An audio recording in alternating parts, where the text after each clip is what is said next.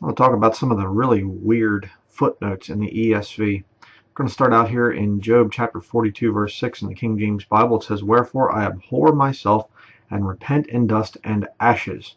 All right, obviously it's talking about Job here um, after God puts him in his place essentially and he says about how you know he comes to the right position as a sinner, sinner should that's in communication with God.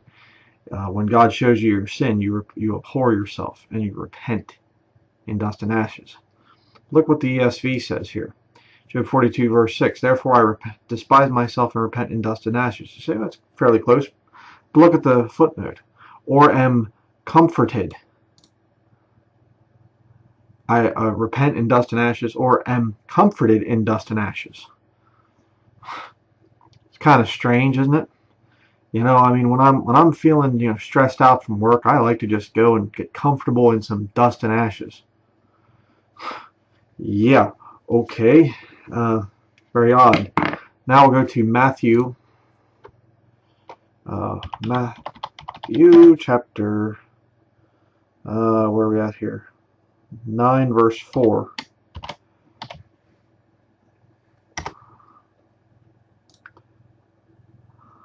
Matthew chapter 9. I'm going to read the King James Bible. Make sure we get God's Word first here. Um, it says here, in Jesus knowing their thoughts said, Wherefore think ye evil in your hearts? Jesus knowing their thoughts. He's God. He can read people's thoughts. ESV, but no, Jesus knowing their thoughts said, What do you why do you think evil in your hearts? Again, somewhat close to the King James Bible, but look what it says, footnote, some manuscripts, perceiving. He didn't know their thoughts, he just kind of perceived it, kind of a occult powers there or something apparently. He just kind of perceived it. I mean, why would you put that in the footnotes? It's absurd. All right. Next, we're going to go to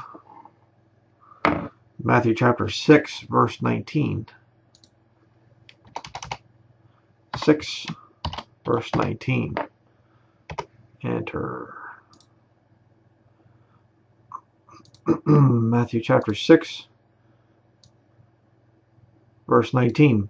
Lay, up, lay not up for yourselves treasures upon earth, where moth and rust doth corrupt, and where thieves break through and steal.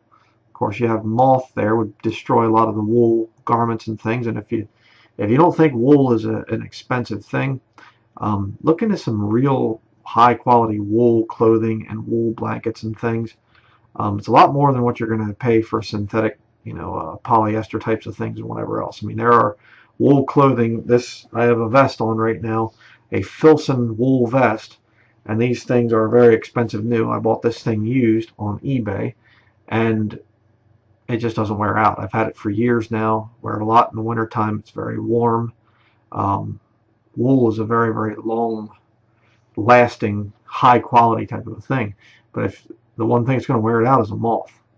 A moth will go if there's any kind of food or sweat or any kind of thing on your wool the moth will eat that. That's why people put their wool garments into a cedar closet or whatever else. So a moth can destroy your high dollar wool clothing.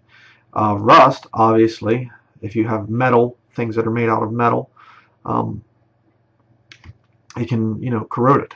And of course, rust uh, can sometimes in your King James Bible refer to just corrosion in general. But look at the weird footnote in the ESV. Do not lay up for yourselves treasures on earth where moth and rust destroy and where thieves break in and steal. They have rust there, but the footnote says, or worm. Yeah, rust and worm are, they're pretty much the same thing, you know. Okay, so just thought I'd show a couple of these just to show. I'm sure I'll have more in the future. Weird footnotes and things from the uh, English Standard Version.